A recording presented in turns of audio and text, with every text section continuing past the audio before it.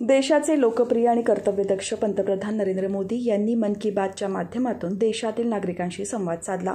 सन दोन हजार तेवीसमधील हा एकूण नव्याण्णववा भाग होता.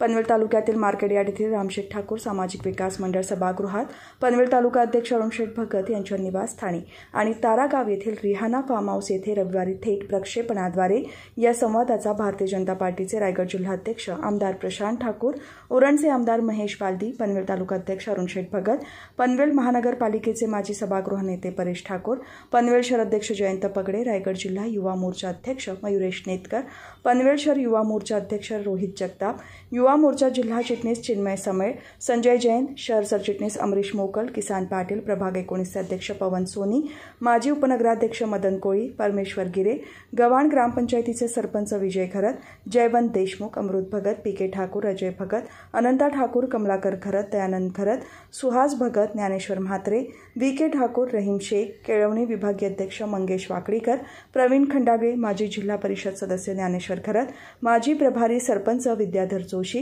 कर्नाळा विभागीय अध्यक्ष चंद्रकांत पाटील कराडे ग्रामपंचायतचे माजी उपसरपंच विजय मुरकुटे माजी प्रभारी सरपंच अनिल पाटील ताराबूत उपाध्यक्ष हरेश्वर पाटील दिघाटी ग्रामपंचायतीचे माजी सरपंच अमित पाटील दिघाटी ग्रामपंचायत सरपंच रजनी ठाकूर प्रवीण ठाकूर छोटू जुमलेदार राजू पाटील यांच्यासह इतर मान्यवर आणि पदाधिकारी उपस्थित होते. आपल्याला वाटतं काय आपल्याला गरज आहे? का आपण करायचं? त्यांनी दोन उदाहरणं दिली. एक अगदी लहान मुलगी का जिच्या आई वडिलांनी त्याचं ऑर्गन डोनेशन करायचं ठरवलं आणि एक ज्या निघून गेल्या त्या मातेच्या संदर्भात. तर तिने ऑर्गन डोनेशन केलं. आपल्याकडे जसे हे विभागीय अध्यक्ष आहेत तसे आपले गव्हाण विभागाचे अध्यक्ष आहेत अमर म्हात्रे. त्या अमर म्हात्रेंच्या आई आता नुकत्याच ज्यावेळेला गेल्या.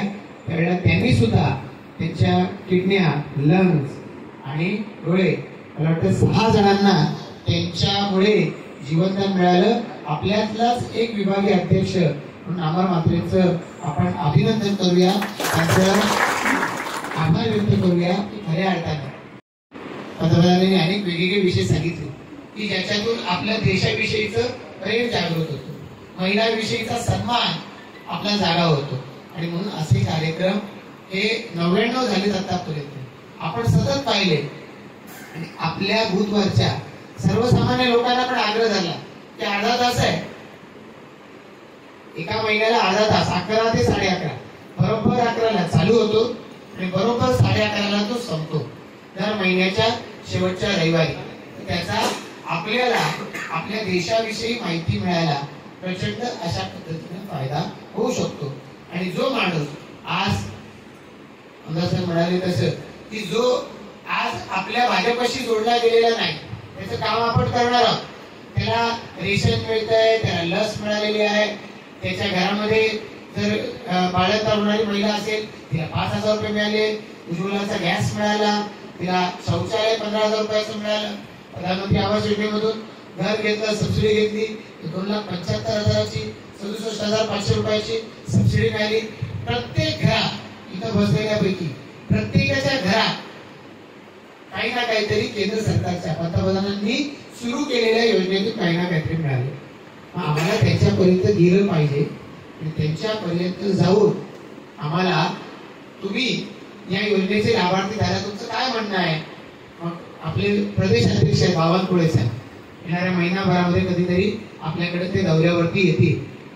त्यांनी सुरू केलेला कार्यक्रम आहे धन्यवाद मोदी. त्या धन्यवाद मोदीचा अर्थ असा की आपल्याला आपल्या गावामध्ये आपल्या बूथमध्ये लोकांपर्यंत जायचंय. आणि विचारायचंय त्या सरपंच अमित सांगा का तुम्हाला कुठल्या योजनेचा लाभ झाला? आणि जसं महेश म्हणाले तसं कुठल्या ना कुठल्या योजनेचा लाभ मिळालेलाच आहे. नाही असं घरच नाही एकही घर नाही. तो श्रीमंतातल्या श्रीमंत असेल तर त्यांनी दोन लशी मोफत घेतली. आणि गरीबातला गरीब असेल तर दोन हजार वीस सालापासून त्याला पाच किलो धान्य माणशी त्याच्या घरामध्ये. जितकी नावं रेशन कार्डवर आहे पाच किलो धान्य त्याला मोफत मिळते. की आपण पंचायत समितीमधून दोन हजार चौदा नंतर ज्यांना शौचालय मिळालं ज्यांना धान्य मिळालं कोरोना काळात या सगळ्यांची एक पुस्तिका आपण पंचायत समितीतून ते मागणी केली आहे. त्याची यादी आली आहे. प्रत्येक ग्रामपंचायत पाहिजे पत्र पत्रक आणि तो शेका पक्षाचा असू दे काँग्रेसचा असू दे आपला नाही हे माहिती आहे. तरी त्याला हे सांगणं गरजेचं आहे की तुला हे मिळालेलं शौचालय मोदींच्या मिळाले हे हर घर मिळाले तुला करोना काळामध्ये मिळालेलं धान्य हे मोदींनी पाठवलेलं होतं. तुझ्या प्रत्येकाच्या शरीरामध्ये असलेलं वॅक्सिन हे मोदींच्या संकल्पनेतून पंतप्रधानांनी या देशात मोफत वाटलंय. आपण सांगितल्यानंतर ते पत्र गेलं तर निश्चित कोणी माणूस विचार करतो की मला शेका वर्षांनी काय दिलं. मला अडीच वर्षात शिवसेनेचा मुख्यमंत्री होता त्यांनी काय दिलं. कोणीच काय दिलं नाही. देणारे हे भाजपचे करणारे हे कर्तृत्ववान आहेत. म्हणूनच या पंतप्रधानांना जगात डंका वाचतोय तेव्हा आपण यांना मत द्यायची का? कोणतरी सांगते म्हणून शेका पक्ष दे निश्चित त्याच्यात दोन चार टक्क्याचा फरक पडू शकतो. खाली प्रत्येक घरामध्ये शिक्षित लोक आहेत. वाचून विचार करतात टी व्ही बघून विचार करतात जग बघून बदलतात. त्याच्यामुळे आपण बदलवून घेणं नाहीतर काय होतं आपण काही वेळा विचार करतो यांना काय फायदा नाही तीन वेळा गेलो त्याचा काय उपयोग नाही हे सर्व तिथेच आहे.